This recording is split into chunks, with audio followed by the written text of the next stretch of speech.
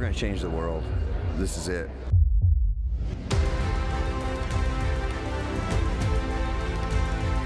International Peptide Society to me again is the breakthrough in alternative medicine and, and what I believe is true medicine.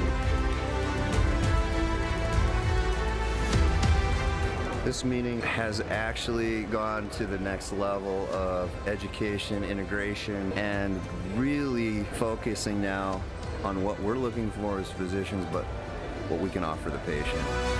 I attended IPS uh, for growth, for knowledge, and to really uh, convey all this to my clients as well.